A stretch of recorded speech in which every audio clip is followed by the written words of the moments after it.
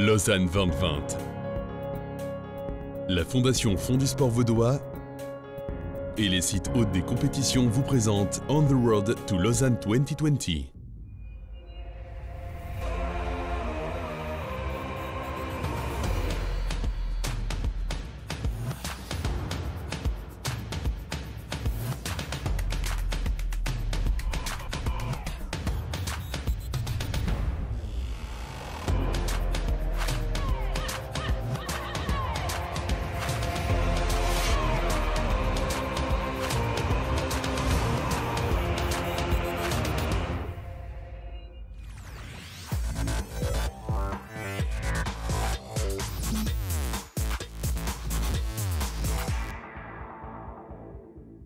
Bonjour à tous et bienvenue dans On the Road to Lausanne 2020, l'émission qui vous présente les futurs Jeux Olympiques de la jeunesse de Lausanne.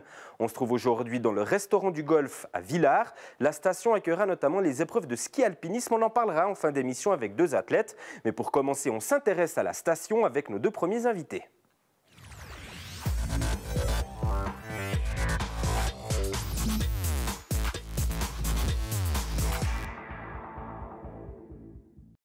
Et nos deux premiers invités sont Patrick Turian, syndic de la commune, et Nicolas Croci-Torti, municipal en charge des sports et de l'urbanisme. Bonjour messieurs. Bonjour. Alors, euh, monsieur le syndic, syndic d'une station qui porte euh, le nom de site olympique, ça va, c'est pas trop lourd à porter? Ah non, c'est un, honneur. C'est vraiment une chance pour euh, la commune d'Olan et la station de Villars d'être site hôte de ces JOJ. Est-ce que l'attribution de, de- de- de ces Jeux à Lausanne et puis du coup euh, des compétitions, ici à Villars, vous avez observé euh, un changement dans la station, un, un engouement pour euh, Villars? Alors je pense qu'il était euh, crescendo. Hein, au début, euh, les gens ne savaient pas forcément euh, les JOJ, de quoi on parle, qu'est-ce que c'est, euh, je ne plus de la jeunesse, mais ça existe? Puis gentiment, ils, ont, ils se sont appropriés ces JOJ, les compétitions également qu'on va pouvoir organiser avec les compétitions tests qui ont passé euh, euh, l'année passée. Et c'était une chance. Et c'est vrai que les gens à Villars et la commune de parce que toute la commune, se réjouissent et on peut dire qu'il y a un, un engouement. Monsieur Croci-Torti, vous, vous êtes euh, en charge des sports ici. Euh, vous sentez aussi cet engouement monter euh, à quelques mois de- des compétitions? Oui, alors enfin, j'ai envie de dire, parce que c'est vrai que depuis le temps qu'on les a annoncés, comme l'a dit tout à l'heure le, syndic, c'est vrai qu'il y a eu d'autres événements. hein, avant ces, JOJ, avant vraiment que, ça se passe. Les, épreuves tests ont été notamment les championnats du monde de, de ski alpinisme en 2019. Et ça, c'était vraiment un gros, gros événement. On a eu des matchs de Coupe d'Europe pour la- le ski cross aussi euh, l'hiver dernier. Et donc là, de- depuis ces deux événements vraiment qui, qui ont une renommée internationale, on, on sent vraiment que maintenant, on est en mode, euh, on est en mode JOJ pour, pour l'hiver prochain. Est-ce qu'on peut dire que Villars est prêt? Alors Villars est quasiment prêt, oui. Euh, on a, euh, je crois que les retours qu'on a eu des épreuves tests justement de la part du comité d'organisation des, des JOJ sont excellents. Euh, donc oui, on est prêt. Et il manque plus que la neige surtout parce que c'est ça qui va déterminer de la qualité après du spectacle qui sera présenté. C'est facile à mobiliser euh, la population, à mobiliser les Villardous euh, euh, à s'impliquer dans ces JOJ, monsieur le syndic? Alors je pense que les Villardous sont, sont des gens qui sont d'abord très accueillants et enthousiastes quand il y a des beaux projets. Et c'est vrai que là, je crois que la population est vraiment... on n'a pas eu trop de difficultés dès qu'ils ont pu s'approprier, comme je disais précédemment, ces jeux. Ils ont pu se rendre compte de l'importance de l'événement. Euh, je crois que ce n'est pas un problème et tout le monde est derrière. Maintenant, la neige, on n'a aucun souci, elle sera là. On l'espère. Messieurs, vous restez avec moi. On se retrouve euh, dans deux minutes. Villars, c'est également une station estivale. Il y a notamment organisé la Coupe du Monde d'escalade. C'est le premier reportage de notre émission.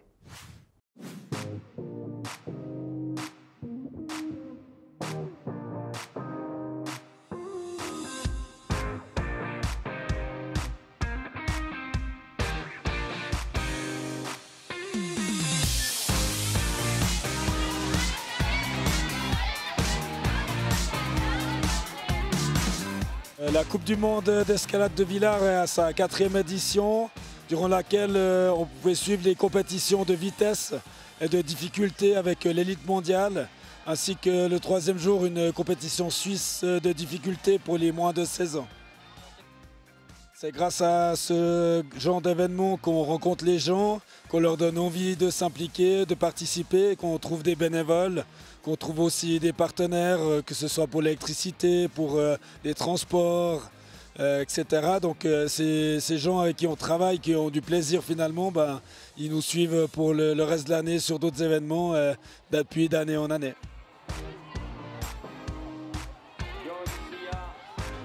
Je vais dire que dans un premier temps, on profite euh, des événements avant les JOJ pour parler des JOJ, pour attirer la curiosité des gens. C'est clair euh, qu'un événement comme les JOJ avec des anneaux olympiques, ça suscite un intérêt un peu plus peut-être euh, enthousiasme pour les bénévoles. On va peut-être découvrir des personnes qui ont certains potentiels euh, on va prendre contact avec eux, on va travailler avec eux et puis euh, si ça se passe bien, ce que je, ne doute pas, on va pouvoir continuer de collaborer avec eux pour la suite euh, des événements des années suivantes.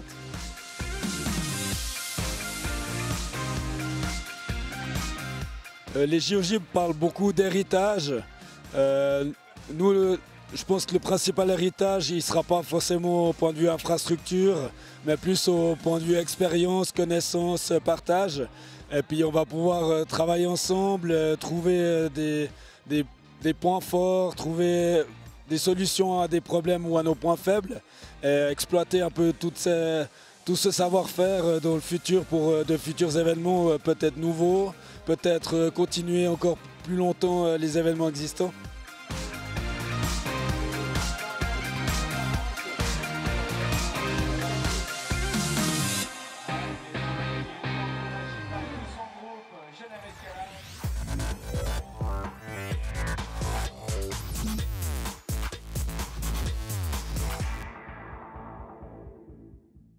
Je suis toujours en compagnie de Patrick Turian et Nicolas Croci-Torti. Euh, Nicolas, on vient de le voir, donc Villars a accueilli euh, la Coupe du Monde d'escalade. Est-ce que d'autres manifestations ou animations sont prévues en marge de ces JOJ alors oui, il y a un certain nombre d'animations qui vont être prévues, même si l'essentiel va se dérouler à Lausanne. Hein. La cérémonie euh, d'ouverture se déroulera à Lausanne. Les athlètes ne seront présents que pour les compétitions. Par contre, euh, c'est vrai qu'on va animer un petit peu la station, on va prolonger les après-ski. Il y a des concerts qui vont se faire au pied des pistes. Euh, on va animer un maximum pour faire en sorte que les gens puissent rester. Monsieur Turian, une Coupe du Monde d'escalade, une Coupe d'Europe de ski cross, CJOJ euh, qui arrive. Euh, vous avez euh, à la municipalité, à la commune de, Villars, l'envie de positionner la station comme une place forte du sport en Suisse, ou en tout cas en Suisse romande? Tout à fait. Je pense que Villars a la chance de pouvoir se positionner, et la commune de Long, euh, par rapport à ces sports, on va dire, jeunes, mhm. et qui arrivent au, niveau de, l'olympisme. Donc c'est vrai qu'on est, on est très content de pouvoir se positionner et d'avoir des pistes qui se prêtent vraiment euh, à perfection pour ces compétitions. Il est important de savoir euh, relever ces défis pour une commune et pour une station parce que l'hiver et le ski, on va encore en pratiquer pendant longtemps, malgré un réchauffement climatique qu'on ne nie pas. Eh bien, messieurs, merci d'être venus à notre micro. Je vous souhaite plein de succès pour ces JOJ ici à Villars. Merci beaucoup d'être venus. Merci d'être venu au golfe de Villars. Exactement. Alors Villars est également réputé pour ses ambassadeurs et ambassadrices. La skieuse Charlotte Chable est l'une d'elles et elle s'implique fortement auprès de la jeunesse. Reportage.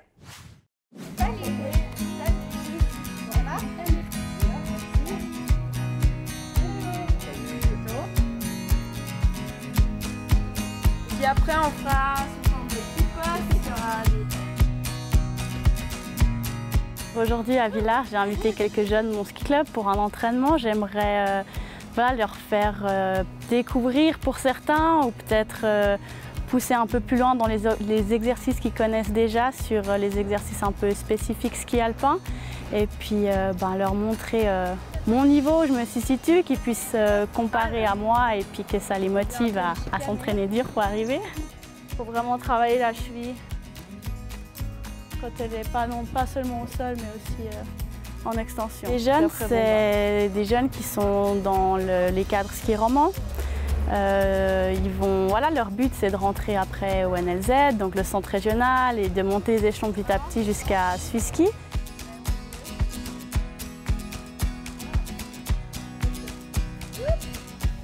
Tu dois vraiment essayer de sentir, tu vois, ton corps, la balance qu'il y a dans ton corps et tout. J'ai prévu pour aujourd'hui, on va vraiment faire euh, une assez grande partie gainage parce que le gainage c'est super important, c'est la base pour, euh, pour tout, pour aussi faire de la force après. Donc on va faire des exercices en guillemets un peu basiques, augmenter la difficulté jusqu'à voilà, on verra où ils arrivent à aller. Et puis après, la deuxième partie, ça sera un peu plus des bondissements, des sauts, de l'agilité. Du coup, on reste sur les basiques, mais qui sont super importants. Hum, les JOJ bah, à Villars et dans ma région, c'est sûr que c'est quand même important pour moi, vu que je suis née ici, j'ai appris à skier. Et puis euh, de pouvoir partager aussi une fois une expérience depuis l'extérieur, sans moi-même être euh, athlète, mais de pouvoir les accompagner, c'est quelque chose de nouveau et je me réjouis aussi de jouer ce rôle-là. Faites-vous pas gagner par la vitesse, J'aimerais transmettre euh, que le sport, c'est vraiment une chance. Je crois que grandir en faisant du sport, grandir en ayant des rêves et des objectifs, c'est il n'y a rien de plus ouais, épanouissant. Et je veux que transmettre aux jeunes qui se rendent compte de la chance qu'on a de pouvoir euh, évoluer dans un monde euh, sportif et puis de avoir des rêves et vivre de notre passion.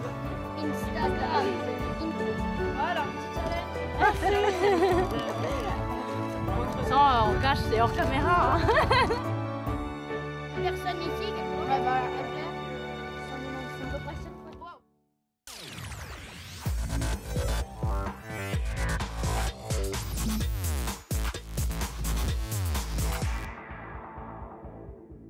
Cécile Wolf-Ponchot nous a rejoint. Bonjour madame. Bonjour. Alors vous êtes coordinatrice sportive et déléguée jeunesse à la commune de Long.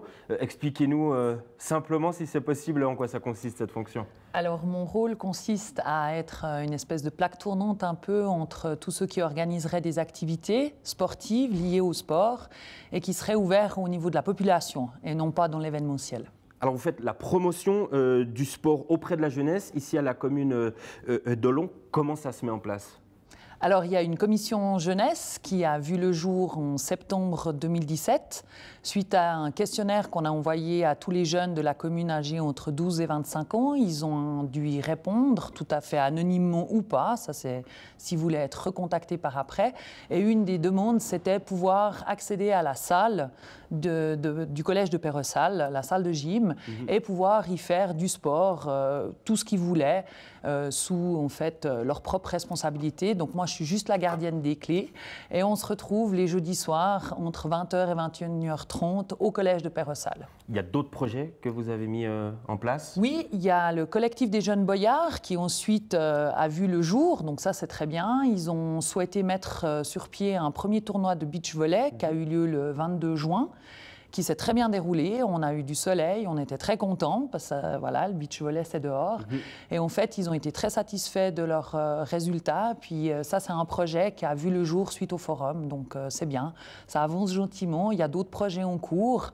Et alors, ils aimeraient de la mobilité sur, au niveau de, des parcs à vélo. Mhm. ils aimeraient aussi voir s'ils peuvent monter d'autres manifestations sportives ouvertes à tout le monde. Puis je leur ai dit que j'étais là, donc il faut seulement qu'ils me contacte, il n'y a pas de problème, on discute. Il y a aussi le projet Suisse Bouge. Brièvement, vous pouvez expliquer le concept? Oui, Suisse Bouge, qui est un projet à la base de l'Office fédéral du sport, qui a été repris par une, par une entreprise pour faire la promotion du sport auprès de la population, que ce soit euh, les sédentaires, bon, principalement, mais également les enfants, les familles en général. Et ça, ça dure un mois et c'est sur le mois de mai. Et c'est un concept qui prend? C'est un concept qui prend gentiment. Ça fait l'année prochaine, ça sera notre cinquième participation, donc c'est très bien. Ça tombe avec un chiffron, avec 20-20.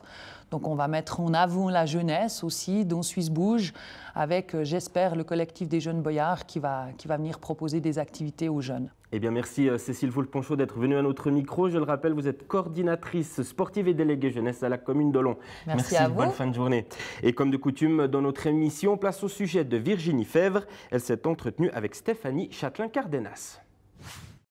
Bonjour à toutes et à tous. Aujourd'hui, j'ai le plaisir d'aborder un thème qui me tient particulièrement à cœur. C'est l'engagement de la jeunesse dans le cadre de Lausanne 2020. Nous sommes aujourd'hui ici à l'école de la construction et je vous emmène à la rencontre de Stéphanie, notre chef de projet. Stéphanie, euh, tu es responsable de tout ce qui est engagement euh, au sein de, Lausanne 2020. C'est très large. En quoi ça consiste euh, exactement?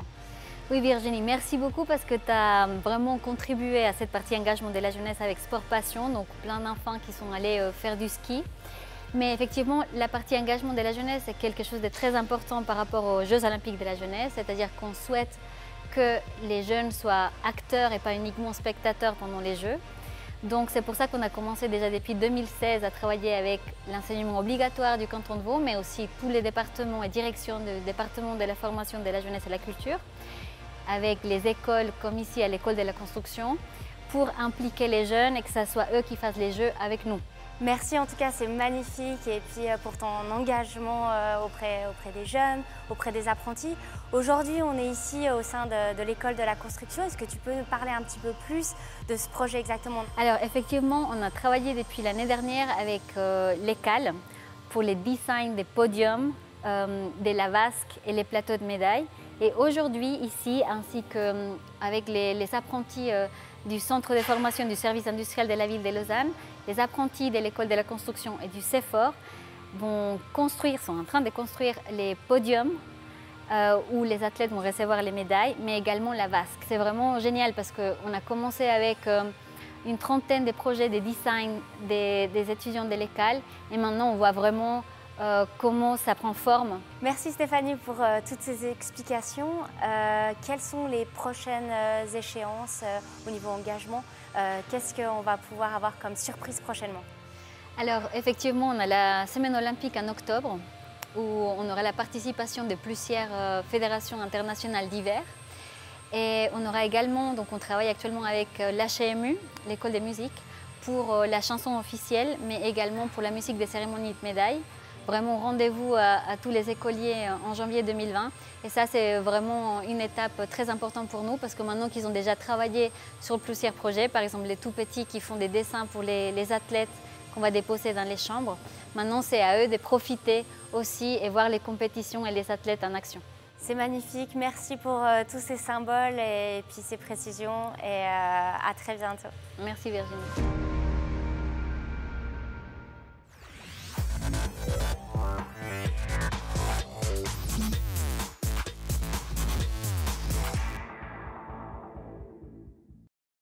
Villars sera le théâtre des épreuves de ski alpinisme et qui de mieux que deux champions du monde de la discipline pour en parler. Robin et Thomas euh, Bussard, bonjour. Bonjour. Alors euh, Robin, peut-être pour commencer, c'est une question qu'on pose régulièrement aux athlètes qui euh, viennent sur notre plateau. Les JOJ, ça représente quoi pour un athlète? Bah, C'est vraiment un grand événement, enfin en tout cas pour nous deux.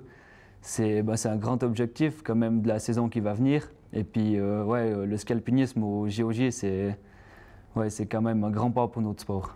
Thomas, vous partagez euh, l'avis de votre frère? Oui, bah, exactement le même avis, alors vu qu'on est un sport non olympique pour le moment, donc c'est déjà un bon pas pour le sport. J'espère qu'un jour ça deviendra un sport euh, vraiment olympique et non juste aux Jeux olympiques de la jeunesse.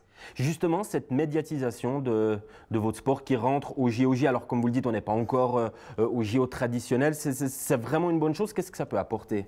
Bah Alors je pense que déjà avec toute cette médiatisation qu'on apporte au scalpinisme, ça, ça, permet de le rendre beaucoup plus visible parce que c'est vraiment un beau sport qui mérite d'être médiatisé autant que le ski alpin ou bien d'autres sports comme ça. Robin, euh, vous y participerez alors à ces JOJ euh, Alors euh, en ce moment, non, pas encore. On n'est encore pas officiellement sélectionné. Il y a eu une présélection qui a été faite. Bon, on, est, on y est dedans mais on n'est pas encore vraiment euh, sélectionné officiellement. Comment se déroulent les sélections, Thomas? Donc, euh, on avait la Swiss Cup l'année passée. Et donc, euh, c'était toutes les courses de la Coupe Suisse qui comptaient une fois comme course sélection. Donc, ça s'est plutôt bien passé pour nous. On a fait 1 et 2 à toutes les courses qu'on a participé. Des fois, on a inversé les rôles. donc, ça, c'est une bonne chose de fait. Mais maintenant, il reste encore deux courses au, au début décembre où là, ça comptera deux fois, où il y aura un sprint et une adive. Donc là, il faudra vraiment tout donner pour euh, essayer de se qualifier, mais c'est bien parti pour le moment. Alors là, on est en plein mois d'août. Comment euh, euh, des, des, athlètes qui font du ski alpiniste s'entraînent?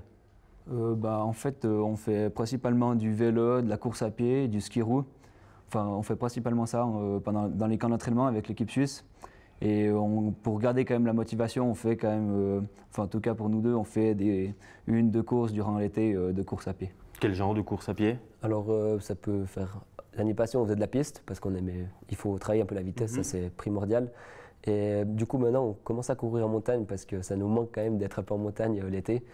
Et autrement, ben, moi je pense faire une course de vélo encore au mois de septembre pour bien, pour pas garder, garder le rythme des courses. Quoi. Et du coup, quand on est champion du monde, euh, de sa discipline, euh, ça rajoute de la pression?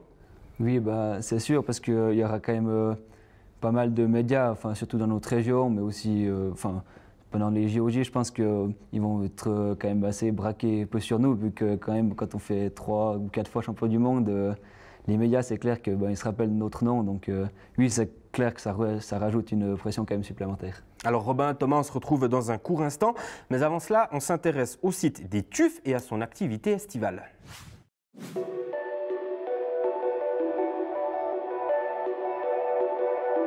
On est officiellement maintenant le centre officiel d'entraînement du ski nordique des équipes de France de ski. Et euh, donc depuis 1996, finalement, on a, toujours fait des évolutions pour arriver à avoir tous les équipements nécessaires pour toutes les disciplines du, ski nordique.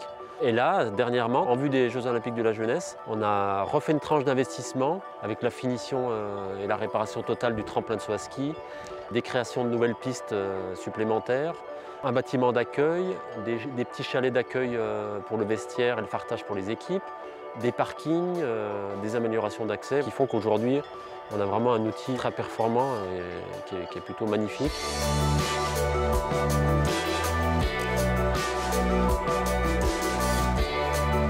Je suis tout petit, je m'entraîne quasi ici tout le temps. On a vu quelques nouvelles modifications qui sont plutôt, plutôt pas mal.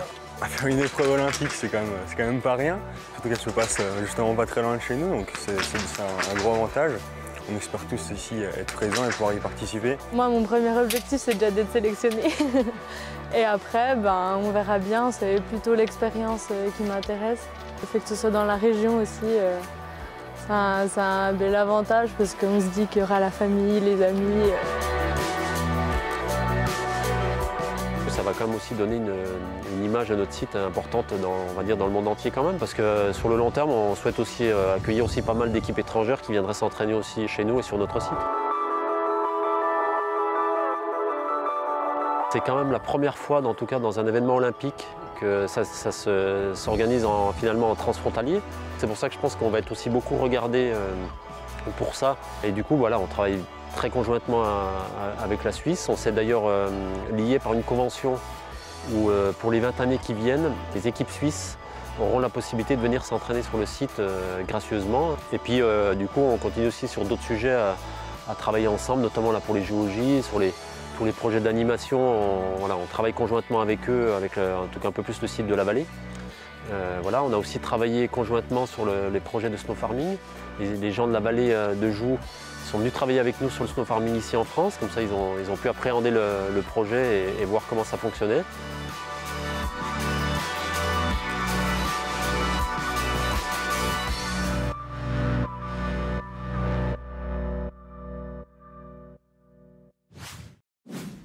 Robin et Thomas Bussard sont toujours à mes côtés. Robin, vous le disiez avant, euh, en course, euh, vous faites souvent 1 et 2. Alors des fois c'est Thomas qui est premier, des fois c'est Robin. Euh, on arrive à faire abstraction des liens familiaux quand on est en course comme ça? Oui, quand même, mais c'est quand même difficile quand on est jumeaux. Enfin, en tout cas, moi, pour moi, je regarde tout le temps, parce qu'on court presque tout le temps ensemble, on est tout le temps l'un derrière l'autre.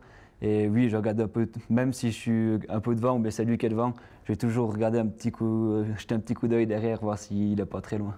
Thomas, c'est une source de motivation justement quand on voit son frère devant? Oui, c'est sûr qu'on ben, ne peut pas le laisser aller parce qu'on se dit que. Moi, c'est sûr que je suis content s'il fait premier mais, et moi deuxième, mais c'est clair que s'il y en a un qui fait premier et l'autre dixième, par exemple, c'est clair que pour nous deux, ça serait un peu plus compliqué parce que c'est pas facile à vivre, mais au final, on est obligé de toujours recoller l'autre pour, être heureux. Alors, un dernier mot, euh, la date des sélections officielles pour le ski alpiniste, ça sera quand? Donc, euh, ça sera le 16 décembre et ça sera communiqué par Suisse Olympique. Eh bien, magnifique. On espère qu'on vous retrouvera ici euh, à Villars pour CJOJ. Merci d'être venu sur notre plateau. Merci à vous. Quant à nous, bah, il est déjà temps de se quitter. Je vous donne rendez-vous au mois de septembre pour de nouvelles aventures liées aux Jeux Olympiques de la jeunesse. On se dit au revoir avec la capsule humoristique de Bruno Pecky. Bye bye.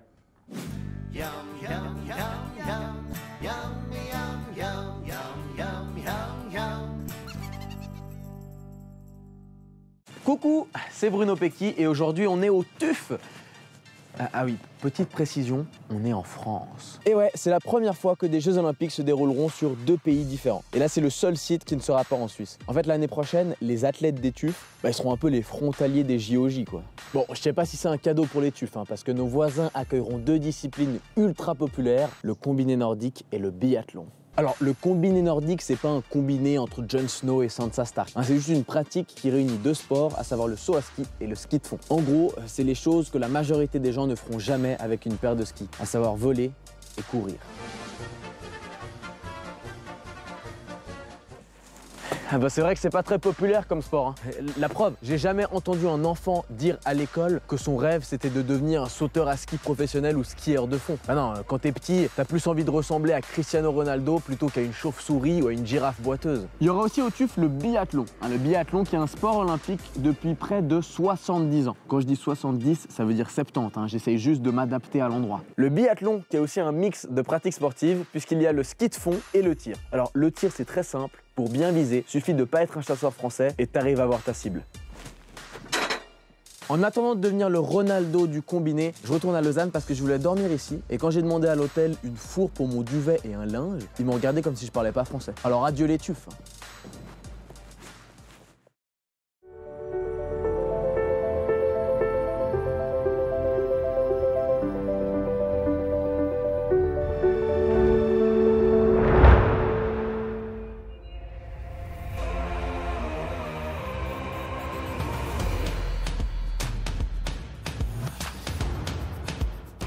Road to Lausanne 2020 vous a été présenté par les sites Haute des compétitions, la Fondation Fonds du Sport Vaudois et Lausanne 2020.